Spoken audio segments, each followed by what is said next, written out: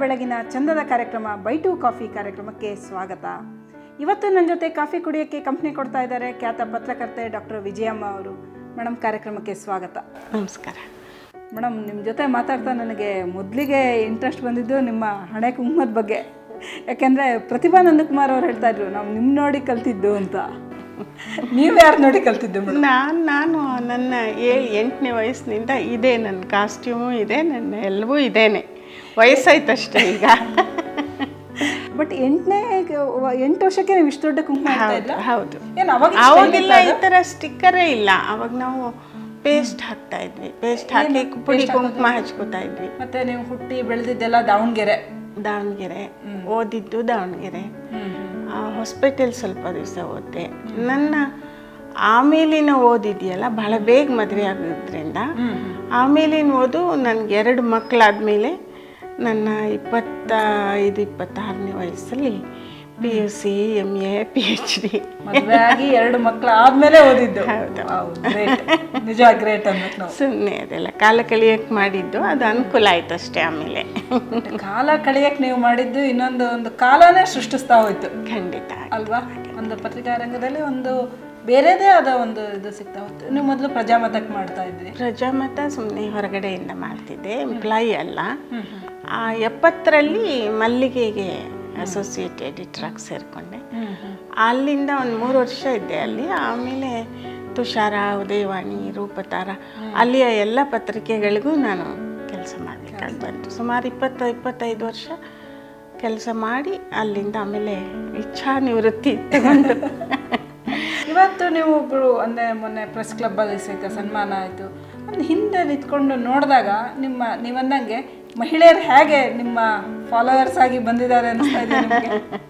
ನನಗೆ ನನ್ನ ಫಾಲೋಯರ್ಸ್ ಅಂತ ಅಲ್ಲ. ನಾವು ಏನು ಒಂದು ಕಾಲದಲ್ಲಿ ಹೋರಾಟ ಮಾಡಿದವರು. ಮಹಿಳೆಯರಿಗೆ ಅವಕಾಶ ಸಿಗಬೇಕು ಮಹಿಳೆಯರಿಗೆ ಸುರಕ್ಷತೆ ಬೇಕು ಮಹಿಳೆಯರ ಮೇಲೆ ಹಿಂಸೆ ಆಗಬಾರ್ದು ದೌರ್ಜನ್ಯ. ಅದಕ್ಕೆ ಕುಟುಂಬ ಇರಬಹುದು ವೃತ್ತಿ ಇರ್ಬೋದು ಸಮಾಜ ಇರ್ಬೋದು ಎಲ್ಲೇ ಇರ್ಬೋದು. ಆ ಹೋರಾಟದ ಫಲವಾಗಿ ಅನೇಕ ಒಳ್ಳೆಯ ಕಾನೂನುಗಳು ಬಂದವಲ್ವ? ಆ ಕಾನೂನುಗಳು ಇರೋದ್ರಿಂದ ಸ್ವಲ್ಪ ಮಟ್ಟಿಗೆ ಧೈರ್ಯವಾಗಿ ಮುಂದೆ ಬರೋಕ್ಕೆ ಸಾಧ್ಯ ಆಗಿದೆ. ಆದರೆ ಅದು ಕಾನೂನನ್ನು ಮೀರಿ ಎಷ್ಟು ಅನ್ಯಾಯಗಳಾಗ್ತಿದೆ ನಾನೇನು ಹೇಳಬೇಕಾಗಿಲ್ಲ. ಅದು ಬರುತ್ತೆ ಅದನ್ನು ದಾಟ್ಕೊಂಡು ಹೋಗೋ ಪ್ರಯತ್ನಗಳನ್ನು ಮಾಡ್ತಾ ಇರ್ಬೇಕಷ್ಟೆ. ನೀವು ಇಂಡಿಪೆಂಡೆಂಟ್ ಆಗೇ ಇರಬೇಕು ಒಬ್ಬಳೇ ಇರಬೇಕು ನಾನು ಅನ್ನೋ ಒಂದು ಮನಸ್ಥಿತಿ ಅದು ಎಲ್ಲಿವರೆಗೆ ಸಾಧ್ಯ ಆಗುತ್ತೋ ಅಲ್ಲಿವರೆಗೆ ನಾವು ಇಂಡಿಪೆಂಡೆಂಟ್ ಆಗಿರಬೇಕು. ಪ್ರೀತಿ ಮಾಡೋರು ಎಲ್ಲ ದಿಕ್ಕಿಂದ ಪ್ರೀತಿ ಮಾಡ್ತಿರ್ತಾರೆ. ಮಕ್ಕಳಾಗಲಿ ಸೊಸೆಯರಾಗಲಿ ಮೊಮ್ಮಕ್ಕಳಾಗಲಿ ತುಂಬ ಪ್ರೀತಿ ಮಾಡ್ತಾರೆ. ಹಾಗೆ ಸಮಾಜದಲ್ಲಿರೋ ಎಲ್ರಿಗೂ ನನ್ನ ಕಂಡ್ರೆ ಇಷ್ಟ. ಆ ಇಷ್ಟನ ಉಳಿಸ್ಕೊಳ್ಬೇಕು ಮತ್ತು ನಾನು ನನ್ನ ಕಾಲ ಮೇಲೆ ನಿಂತ್ಕೋಬೇಕು. ಬೀಳೋ ಕಾಲ ಬಂದಾಗ ಮಕ್ಕಳು ನೋಡ್ಕೋತಾರೆ. ಅಂಥ ಒಳ್ಳೆ ಸೊಸೆಯರು ಮಕ್ಕಳು ಇದ್ದಾರೆ ನಾನು ಆದರೂ ಅಲ್ಲಿ ತನಕ ನಾವು ಒಬ್ಬರೇ ಇರಬೇಕು. ಅನ್ನೋ ನಿಮ್ಮ ಆ, ಇದಿದೆಯಲ್ಲ ತುಂಬಾ ಇಷ್ಟ ಆಯ್ತು. ಬಟ್ ಒಂಟಿ ಅಂತ ಅನ್ಸಲ್ವಾ ಆ ಟೈಮಲ್ಲಿ ನನ್ಗೆ ಅನ್ಸಲ್ಲಮ್ಮ ನನ್ನ ಸುತ್ತ ಸದಾ ಜನ ಇದ್ದಾರೆ. ಪುಸ್ತಕ ಇದೆ ಓದಿದೆ ಎಲ್ಲ ಇದೆ. ಒಳ್ಳೆ ಏನು ಯಾವತ್ತು ಒಂದು ಕ್ಷಣನೂ ನನಗೆ ಅನ್ಸಿಲ್ಲಂಗೆ ಇಪ್ಪತ್ನಾಲ್ಕು ಗಂಟೆ ಸಾಲದು ಅನ್ಸುತ್ತೆ. ಚಿಕ್ಕನಿಂದ ನನ್ನ ಹವ್ಯಾಸ ಸ್ವಲ್ಪ ಹೊರಗಡೆದೆ. ಒಳಗಿದ್ದವಳಲ್ಲ ನಾನು. ಚಿಕ್ಕ ಹುಡುಗಿ ಇದ್ದಾಗಲೂ ನನಗೆ ತನ್ನ ತಾಯಿ ಇರಲಿಲ್ಲ ಮತ್ತು ನಾನು ಒಬ್ಬಳೇ ಇದ್ದೆ. ಮನೆ ಕೆಲಸ ಅವಾಗಲೂ ಮಾಡ್ತಾ ಇದ್ದೆ ಇವಾಗಲೂ ಮಾಡ್ತೀನಿ. ಅದು ನನಗೇನು ದೊಡ್ಡ ವಿಷಯ ಅಲ್ಲ.